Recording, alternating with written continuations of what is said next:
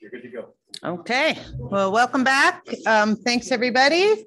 Well, once again, um, welcome to ComFish 2022. I'd like to start by um, thanking our, our sponsors, Highmark Marine Fabrication and, and Northrim Bank. Um, as many of you know, we're doing these forums this year in a hybrid fashion. Um, so those of you that are joining us virtually, welcome. And um, at the end of the presentation, we're gonna have a question and answer period. And um, so if you are online, um, just send the questions through the um, Q&A box and we'll gather those questions up along with those in the room.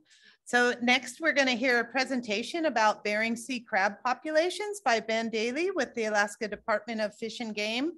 Ben is the Alaska Department of Fish and Game's research coordinator for commercial groundfish and shellfish in the westward region, including Kodiak waters, the Aleutian Islands, and the Bering Sea. He supervises research and resulting management of commercial marine fisheries and serves as the regional crab fisheries scientific advisor. So thank you, Ben, and welcome and come on up.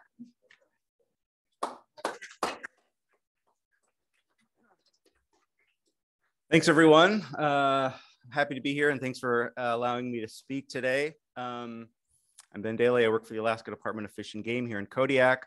Uh, I'll be talking about Bering Sea crab populations, uh, and talking about their current stock status. Um, so I'll have to nod to my pilot here to advance slides along the way. So bear, bear with me here. So go ahead.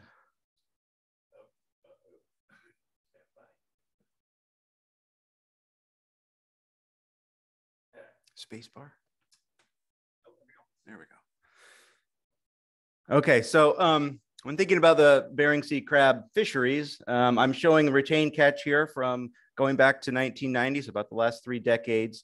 Um, there's a handful of fisheries that have occurred over the over the years, but by far the top three that stand out in terms of the magnitude of those fisheries, absolute value, and their economic uh, importance are Bering Sea snow crab, Bristol Bay red king crab, and Bering Sea tanner crab.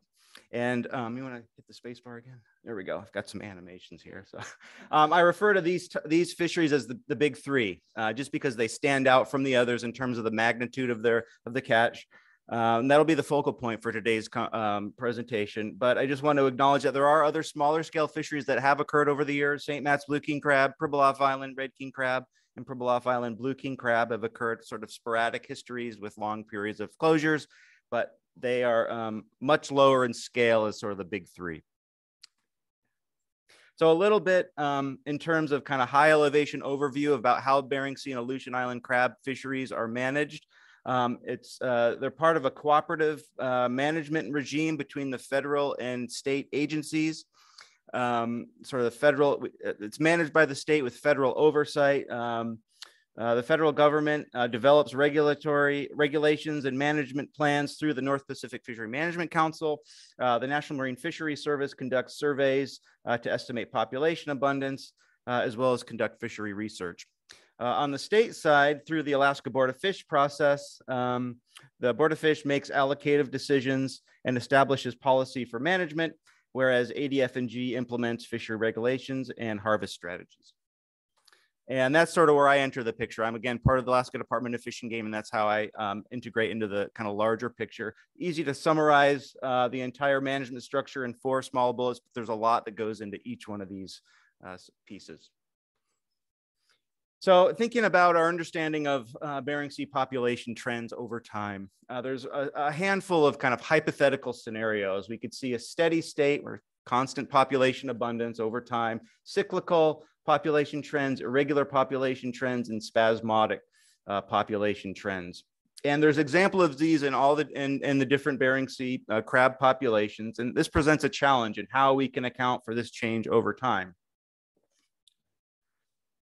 And so our understanding of crab, crab population abundance and its current status relative to what we've seen in the past, it really boils down to what we're seeing in the data. And there's very various different data streams that are looked at to help us understand what's going on with the crab populations. We've got, of course, fishery data, in, in, in, the, in the form of catch rates.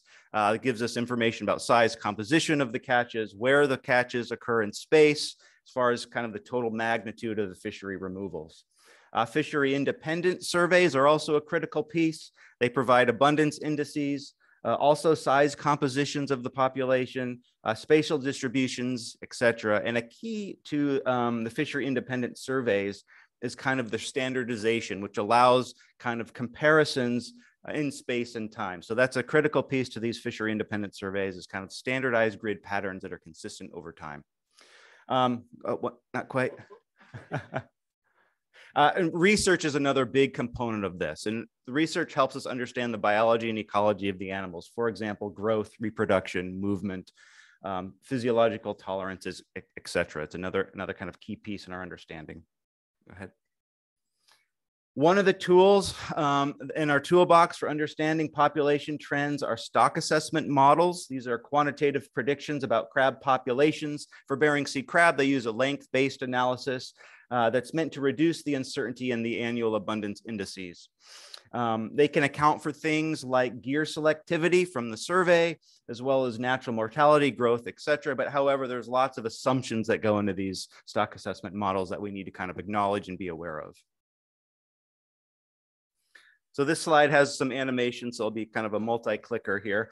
Uh, but the stock assessment includes the stock assessment model. Uh, one of the, as I mentioned before, we got research data that feeds into the stock assessment model again. We've got this uh, survey data in the form of an abundance index. Is it not working?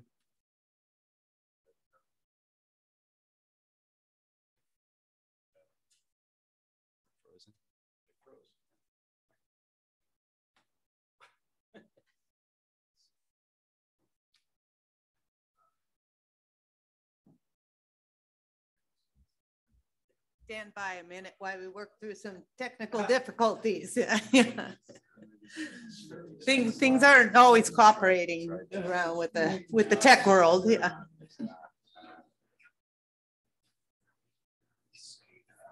It, it, it also looks like it's uh, January outside there. We're having a lovely spring blizzard. Okay, it looks like looks like it's going okay here.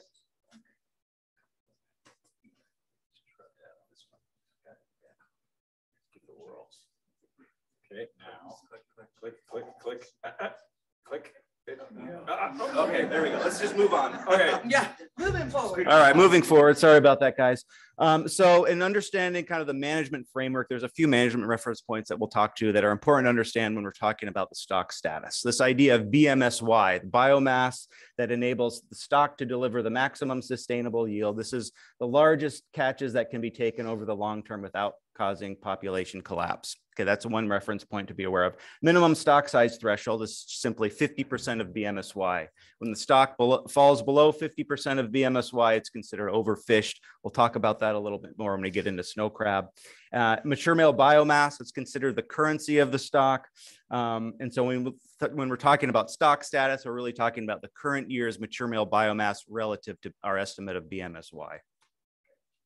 So that brings me back to who am I? Again, I work for the Alaska Department of Fish and Game as a research coordinator for shellfish and groundfish. Most of my time and energy is focused on Bering Sea crab fisheries. Um, I've got a biology and ecology background, not a modeling background. Um, I've been trained through uh, by the University of Alaska Fairbanks and have been studying crab since 2004. What I do is try to con converge all these different data inputs into kind of uh, direct fishery outcomes and kind of all this stock assessment, survey data, fishery data kind of boils down to one number, and that's the total allowable catch. That's the limit of the catch for the directed fishery. And so that's a big part of what we do at the department is kind of synthesize all this different information into that one, um, one number. Go ahead. So probably the single most important piece of information that we use to manage these fisheries is the annual NOAA Eastern Bering Sea Bottom Trawl Survey. This happens each year, going back to 1975 in the summer. It's uh, made up of a, a, gridded pattern, 375 stations in a standardized grid. Each one of those squares is 20 by 20 nautical miles. Um, it's a multi-species survey. It counts for um, various stocks of both groundfish and, and crab. Um, it uses an 83-112 Eastern otter trawl Um, that's the same gear that's been used going back to 1982.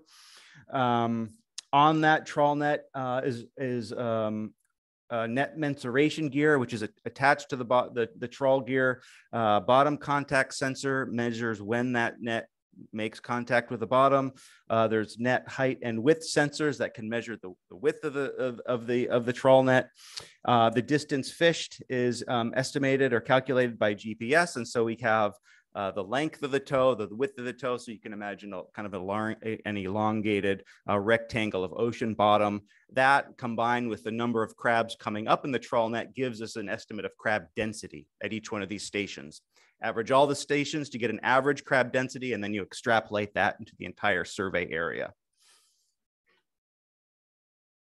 With all the recent changes in the environment in the Bering Sea, there's um, a strong interest to expand the survey area into the northern Bering Sea. Uh, there's been a handful of surveys that have occurred in the northern Bering Sea, I think five or six that have um, happened approximately every other year.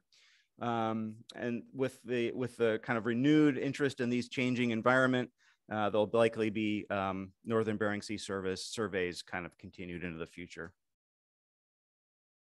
So focusing on uh, kind of stock specific information, snow crab is really the kind of uh, the big one to talk about first. Um, this shows uh, the historical total allowable catches going back to 1982. Pretty sporadic history where we had huge catches in the late 80s and into the 90s. And since then, it's sort of been humming along at sort of relatively lower levels. Uh, the really the issue I want to talk about today is the magnitude of the drop that we saw in the 2021 fishery. Um, you can see the lowest TAC that we've seen uh, on record, and we'll talk about why, why that is. So if I was to kind of try to summarize what's going on with Bering Sea snow crab uh, in one figure, for me, it would be this figure here. This is a size composition data for the survey for the last six years. Each one of those box boxes corresponds to a single survey.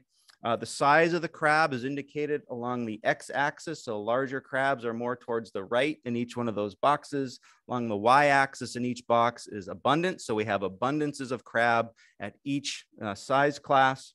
And if you focus on uh, sort of the right-hand column, so the last three survey years starting in 2018, 2018 was probably the highest uh, abundance for snow crab we've had on record. So that was an exciting year. We felt the population was healthy. Uh, the future looked good. Then the 2019 survey came along. We weren't sure what to make of that big drop there. Uh, it could we weren't sure if that was a true population decline, if there was a survey error. Um, the 2020 survey was canceled due to the COVID pandemic, and here we are in 2021 in that box in the lower right. Um, a pretty bleak situation for snow crab overall, uh, but you can see a pretty clear and distinct population decline from those three survey years. So that was kind of looking at that, that last figure was uh, for males of all size classes. If you kind of carve out different components of the population and look at where those are in 2021 relative to the entire time series for snow crab going back to 1980, you can see mature, mature females uh, among the lowest we've seen uh, in the history of the survey. Next. Uh, mature male biomass, again, the lowest, 2021 was the lowest we've seen on the survey or in, in the time series. Uh, four inch males, which is the size class that the fishery targets, uh, 2020, um, 2021, excuse me, again, was the lowest we've seen in the time series. So go ahead. Um, so again, the point being major decline uh, in the last three years. Uh, the stock assessment model estimated the stock to be 33% of BMSY. Because we're below 50% of BMSY, that puts us at a, an overfished classification. Um, per um, Magnuson Stevens Fishery Management Conservation Act um, requires that a rebuilding plan is put into place uh, within two years of the stock being declared overfished. So that's currently in development.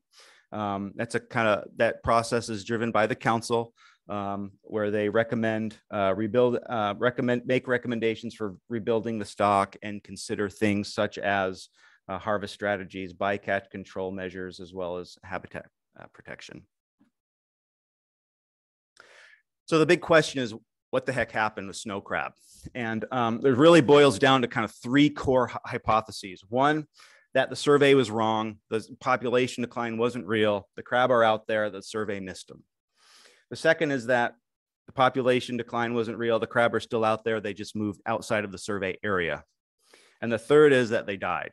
And so if we kind of follow Occam's razor, start with the most simple explanation, try to rule things out along the way to try to understand what, what happened. So I'll sort of walk through what we think is going on with snow crab. So the very simplest, there's still in the survey area, the survey missed them. Um, I mentioned the net mensuration gear that's attached to the bottom trawl nets. Um, that data has been combed through very carefully. There's no net performance problems that occurred that can confirm that the net was fishing normally. It, it made bottom contact. Um, if you look at the population abundance of tanner crab as kind of a similar species, we did not see the similar population decline for tanner crab. You could expect that if there was some problem with the net in the survey, you would see a similar decline with uh, tanner crab, a similar species, but we did not we did not see that. So we're confident that there was no problem with the net performance. So could, they still could be in the survey and the survey survey area and the survey missed them. Then the as we all know, the Eastern Bering Sea is a, is a vast it's a vast ocean out there. The net touches a very small portion of that ocean. In fact, approximately 0.004% of the entire survey area is touched by the survey net. So you can imagine it's not unreasonable to think that the survey might have missed portions of the of the population. However, because of the kind of uniform spacing, it seems unlikely that you would have huge aggregations of crab uh, kind of evenly spaced with with with uh, in between uh, the survey uh, trawl locations. Um, there's some areas near the shelf edge, kind of near the slope, um, that are not covered by the survey, but those areas uh, are not large enough to account for the decline uh, in the numbers that we're seeing. Go to the next one. Now, if you look at the um, Bering Sea slope survey area, it's kind of indicated by this color band here. That's less than 10% of the uh, Eastern Bering Sea shelf area. Um, and when you're looking at the kind of the raw area swept numbers from the survey, um, we saw a, a, population decline of nearly 2 billion animals, and that's just for the males. So is it really plausible that we saw this kind of like large scale spatial migration of all size classes um, from the Eastern Bering Sea shelf onto the slope? Um, seems unlikely. Um, go ahead is it possible that they moved north into the northern Bering Sea area outside of the eastern Bering Sea area? Well, I mentioned that that northern Bering Sea survey has been happening. The two most recent years were in 2019 and 2021. And when we look at high density areas shown here of four inch males, um, the northern Bering Sea area um, doesn't explain the loss of crab uh, that we saw in the eastern Bering Sea.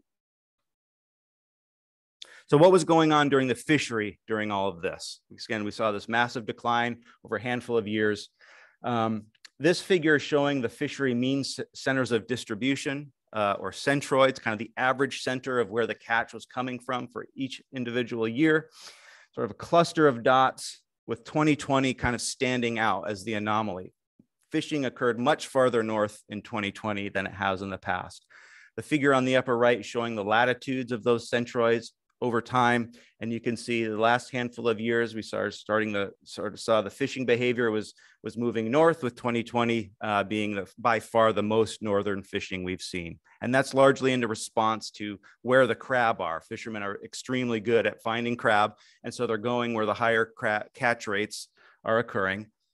And if we look at that 2020 fishery a little closer, this map has um, blue dots that correspond to um, fishery average CPUE in space. So number of four inch males per crab paw on average. So larger blue circles correspond to um, better fishing. Um, we saw a slight uptick in the average CPUE in 2020 shown here. And that was largely because the fishery was moving farther up north. So there was some decent fishing way up north. In fact, it was so extreme that there was lots of concentrated fishing effort right along the Russian border um, in this kind of green, uh, green shape there. So is it so that kind of begs the question if fishing's getting very good, the farther we go up north, right up into the Russian border, is it possible that those these crabs crossed into the Russian into Russian waters? Uh, we have we don't really have a good handle on what's going on with population abundance numbers in Russian waters. We've got some information about the fishery performance in, of the Russian fleet. Uh, this map uh, is is showing uh, catch centroids from the Russian fleet for the last uh, 10 years. Um, I kind of put a rough circle around that and marked where that location is roughly relative to where our fishery occurs. It's very pretty close to uh, the international border there. So when you look at the Russian fishery performance, which is shown in the lower left figure, you're sort of saying the steady increase in CPUE over time. So their fishing's getting better up until 2020, where we see this kind of drop. I, it's hard to see from the figure, so I added this blue, or excuse me, red um, um, arrow, but we did see a decline in the CPUE in the Russian fleet. So if crab and the US side are marching north, and are indeed crossing into Russian waters, you might expect to see an increase in the Russian CPUE, but we did not see that. We saw a drop. So it kind of begs the question, are crab moving from Russian waters down south into US waters? And that's why we we're seeing kind of a better fishing up close to the Russian border. All this, all to say, there's a lot of uncertainty with respect to crab movement relative to the international border. We don't have a good handle on abundance, uh, crab abu- snow crab abundance in Russian water. So all this creates another level of uncertainty and understanding what's going on with Bering Sea snow crab. So move Russian border issues aside for a second, that leaves kind of the final hypothesis did they die? And that's sort of the current thinking that there was some high mortality event that occurred in the last handful of years uh, that caused the, the extreme population decline that we've seen. The sources of the, that mortality uh, could be from a number of areas uh, predation, disease, um, uh, changing ocean conditions, including uh, thermal stress, ocean acidification, dissolved oxygen levels, starvation, um, fishery mortality, or other. Um, there's some data to inform some of these things, in particular predation rates and disease. Um, but I won't get into that too much right now. There's there's a lot of uncertainty with regard to the, the exact source of the, of the decline relative to mortality. So in summary, we saw a, dramatic population decline in the last three years. The stocks declared overfished. Lots of uncertainty related to the cause of that decline. I mentioned movement issues, mortality issues, um, changes in fishing behavior, uh, Russian border issues that complicate our understanding of snow crab populations, as well as environmental change. There's like all that said, there's likely not one single smoking gun to explain the recent population decline. It's likely a combination of movement and a high mortality event. So changing gears to Bering Sea snow crab for a minute. Um, or excuse me, Bering Sea tanner crab. Next slide. Um, Bering Sea tanner crab, it's considered one stock, but it's managed east and west of the 166 west longitude line. Go ahead. It's got kind of a variable history in the fishery. This is showing retained catch going back to 1990. We see a little bit of everything. Uh, pulses of high catch rates, kind of prolonged fishery closures, periods of kind of low fishery rate, low catch uh, levels uh, over multiple years, spikes in around 2014 and 15, and then the more recent years were sort of limping along with relatively low um, uh, fishery levels. So this figure is showing mature female uh, abundance, or excuse me, uh, biomass rather, and we can see kind of uh, cyclical nature of uh, mature male biomass trends where the, the one bright spot in mature in uh, uh, Eastern Bering Sea tanner crab as we're seeing a kind of a jump in, in abundance in 2021. Looking at mature males in the West, the raw area swept data from the survey indicated by the dots there are kind of among the lowest we've seen. However, the stock assessment model, which is indicated by the black line there, is predicting um, a bit more optimistic situation with regard, with regard to the stock status. And that's in part due to the size composition, size composition information that I noted before. Um, you'll see in the kind of this big red box on the left-hand side there, we're seeing juveniles in the population across multiple size classes. The problem is they haven't quite reached the five inch size class, which is indicated by that small red box there. So um, while the current uh, abundance of, of five inch males, which is the size class targeted by the fishery, um, those levels are quite low right now. We do have some hope for the future in that we're seeing some, some strong size classes in the, in the juvenile, juvenile sizes. Another bright spot I mentioned um, uh, mature female uh, population trends. Um, that's shown in the, the black um, line here. I overlaid mature male abundance in here. And if you put the two over each other, you'll start to see a trend, and that is that the female population trend tends to lead that of males by one or two years.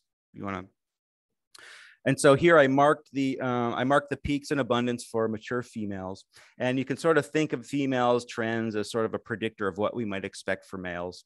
Um, another click. And I marked the um, the male uh, peaks here, and you can see pretty clearly, at least in the last two uh, uh, abundance uh, spikes, there was this uh, one year lag. So we're starting to see an increase in females here in 2021. So there's hope that we might start to see increases in mature male biomass uh, in the next year or, or so. So overall, uh, mature females uh, shot, uh, showed an increase in 2021 with respect to their abundance. This provides some hope for the future. Um, there's some signs of recruitment, particularly in the West. Uh, hopefully we see improved uh, numbers of five inch males uh, in the coming years. Um, however, they haven't materialized yet in those large size classes. Hopefully yet, hopefully they're coming still.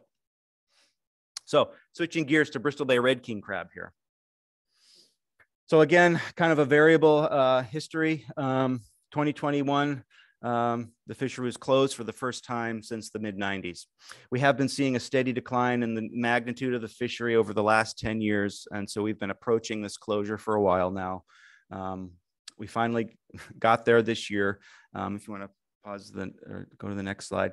And that closure was driven uh, primarily by low mature female abundance. You can see this uh, population of mature females has been in decline for many years, um, sort of seeing the steady decline, and with 2021 being the among the lowest we've seen um, in, in the survey. But again, the closure was actually triggered by a state harvest strategy um, relative to um, abundance levels of mature females. This harvest strategy's uh, been in place for a long time, since the, the mid 90s. It was established by um, the stock assessment author, Dr. Jie Zheng, who's a, a brilliant uh, fisheries uh, scientist. Um, the, the, harvest strategy has been vetted by uh, mul multiple um, bodies throughout the years, and, and, and, and, and there's a lot of confidence in the harvest strategy itself. The main goal of the harvest strategy is to protect females and maintain adequate males for fertilization in the population. This figure is showing uh, female abundance uh, over time. You can see 2021 uh, levels is just below that red line, which is the closure threshold, 8.4 million females is the, the trigger that causes the closure. The last time we saw uh, mature females in this low of abundance was during the, the closures in the mid 90s.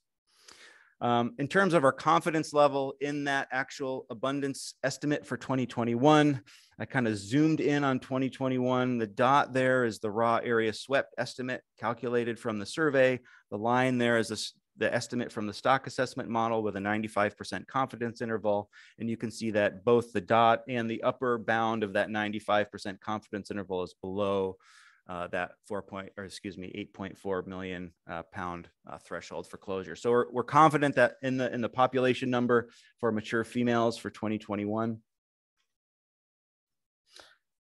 A little bit more on that 8.4 million uh, animal uh, closure threshold. Um, it's admittedly a blunt tool.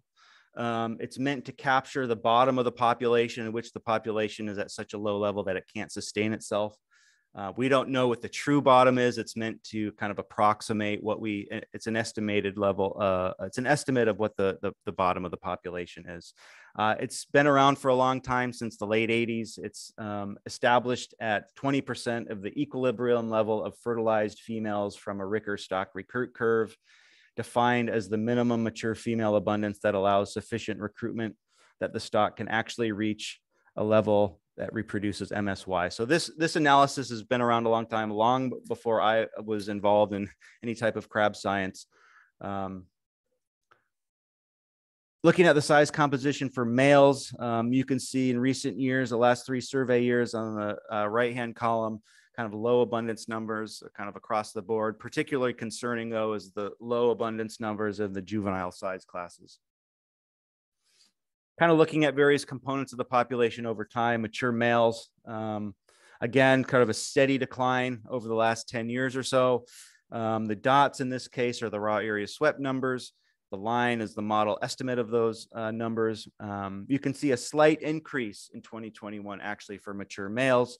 It's unclear if that's the start of a true population increase or whether that's a, a, matter of survey error. And that's kind of what the stock assessment models are really good at doing is trying to uh, account for that. And so you can see the model estimate it's flat from about 20, from 2019 to 2021. The model's not quite sure what to make of that slight increase in 2021. So hopefully the 2022 survey will come back um, with an increase in abundance and we can start um, feeling optimistic about a possible increase in abundance. Kind of same story with the legal size males, uh, sort of steady decline over the last handful of years, slight uptick in 2021 survey data, but it's un, again, it's unclear if that's the start of a true increasing abundance trend or, or a, an artifact of the, of the survey. As far as the outlook for Bristol Bay Red King crab, it's estimated at 62% of BMSY. So we're not quite at the overfish status level, which again, remember is 50% of BMSY. We're seeing a continued downward trajectory, particularly with females, slight increase in males in 2021. It's unclear if this is again is a sampling error with the males or the start of an increasing trend. Uh, hopefully it's the latter. Uh, low estimated recruitment across the board. Um, females were below the harvest strategy this year, which triggered the closure. Um, length frequencies are a bit discouraging um, in that there's no strong pulses of small crabs in the system. Um, and we've got fluctuating environmental con uh, conditions um, and related impacts on Bristol Bay Red King crab are uncertain. So next slide, a little bit more of, on um, what we think is going on with the stock and why we've been seeing the steady decline for the last 10 to 15 years. Really, we think it boils down to low recruitment. And by recruitment, we just mean new individuals entering the population, or in this case, the stock assessment model. The model actually can estimate new animals entering the population. And that's what this figure here is showing is model estimated recruitment. Uh, it corresponds to crabs in the size class of 60 to 85 millimeters. So this is when kind of the model starts seeing crabs in the population. It can't really account for the really tiny crab, which are, you know, small as about the size of a pea when they first settled to the bottom.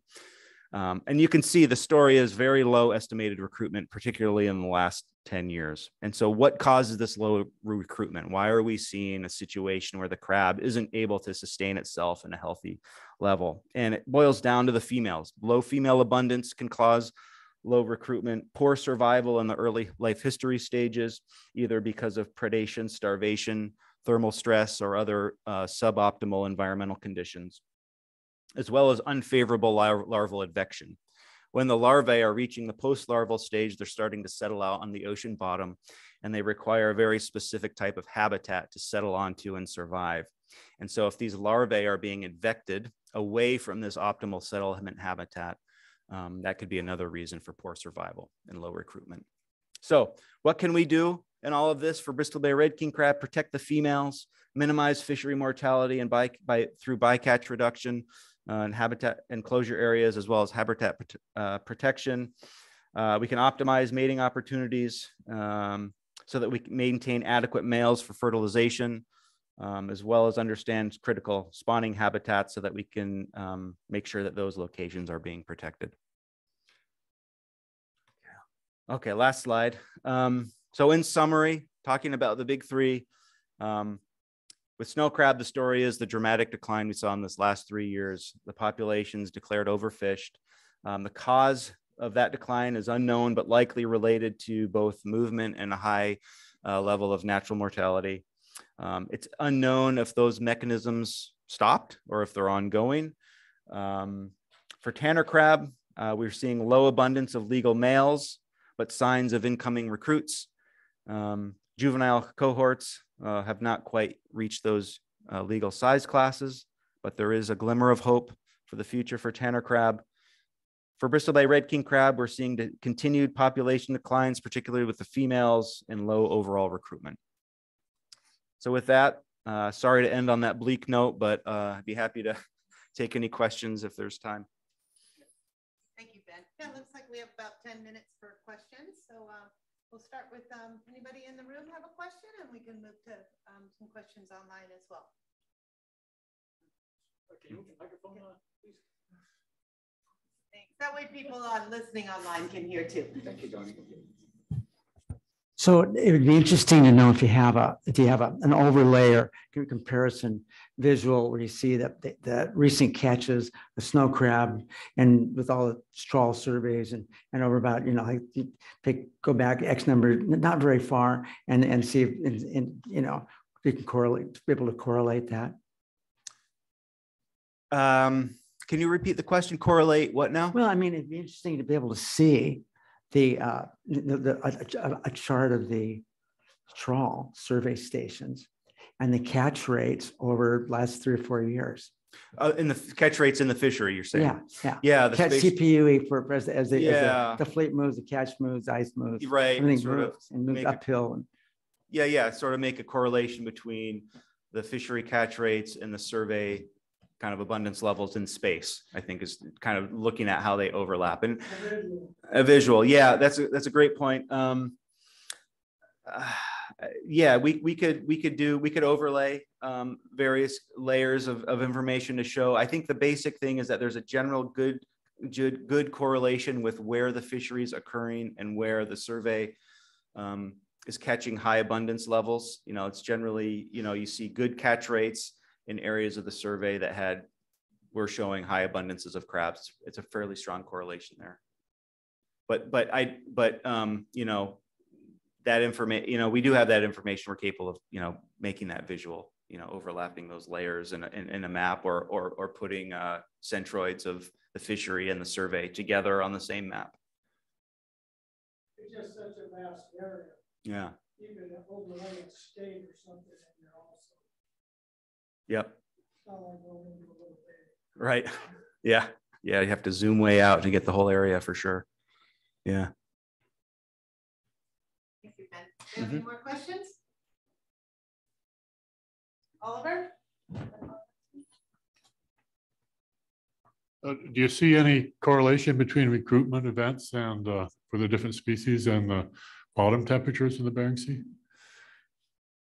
You know, the thing with crab is that they don't really have a stock recruit relationship. And so what that means is you can have examples of good recruitment when there's low female abundance or low bio, you know, population biomass and vice versa. And so that's telling us that the, the survival rates are highly uh, variable and dependent on environmental conditions. Um, I haven't looked, per, getting back to your original question, I have not looked uh, exactly at um, correlating recruitment levels to bottom temperatures per se, but that's uh, that's that's a good good thought of something that would be easy enough to do.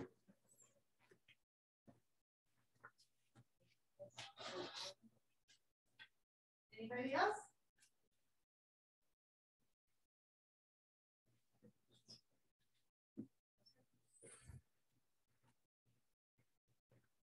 So you were talking about snow crab and you were talking about movement and mortality, but you didn't amplify what are the thesis or what are the uh, suspected causes of mortality? And I know those aren't provable, Sure. but as a, a scientist managing this fishery, what do you think's happening? Yeah, great question. You know, I kind of alluded to some of the different pieces in one of those slides there. Um, we do have some data from the survey. I mentioned the survey um, is one of our, our, our uh, most reliable and impactful data streams. One of the things they do do on the survey is collect uh, stomachs from fish, ground fish. And so we've got stomach content data, and those data do suggest that predation by cod in particular has increased in recent years. So that's kind of a signal about what's going on.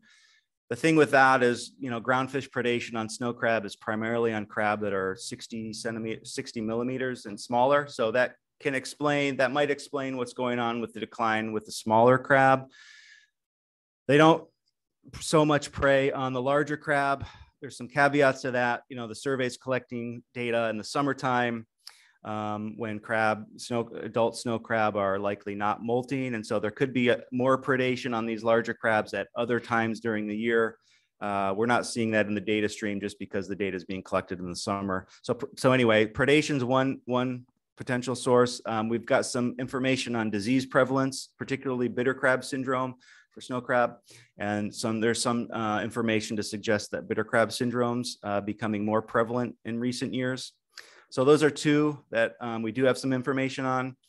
Um, physiological tolerances to a changing environment or another. We've got ocean acidification issues. Um, this is a cold adapted species, so warming conditions are going to be stressful for these animals. Whether, you know, how much these different factors play into the overall survival is sort of difficult to tease apart, but those are kind of a handful of the suspected causes.